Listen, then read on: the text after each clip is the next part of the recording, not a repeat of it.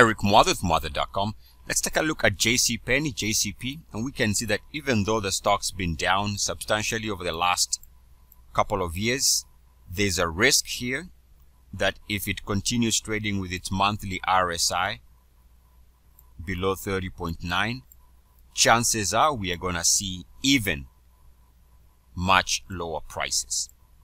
So the risk here is as long as the monthly RSI is below 30.9, there's a possibility of even lower prices beyond the current lows of about 1.56.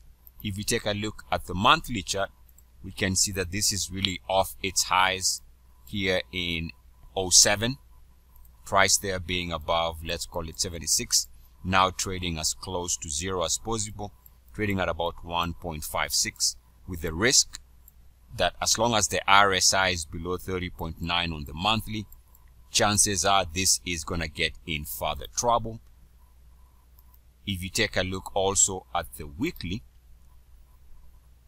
the daily actually, we can see the daily has already moved below 30.9, which is pretty much a trap zone. You can expect lower prices as long as the RSI on the daily on the short term is trading below 30.9.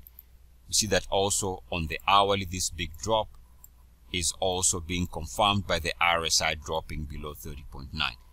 So as long as we are trading below 30.9, more so if we are trading below 30.9 on the monthly, there is a huge possibility that JC Penney is going to be trading at substantially much lower prices.